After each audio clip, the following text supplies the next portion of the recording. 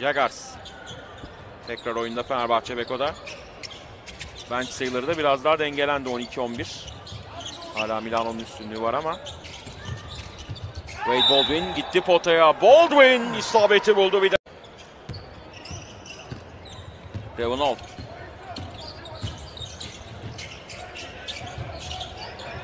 Scottie Wilbekin. Wilbekin tepeden üçlük isabetli Scottie Wilbekin. Ken Burch de e, geçen maçta Olimpia Milano karşısında 9 dakika yanılmıyorsam süre almıştı. E, tabii daha yeni katıldı takıma ve o dakikaları kontrol etmek istiyor eski 300. Üç sayılık atış geldi şimdi. Devon Hall'la basketi buluyoruz.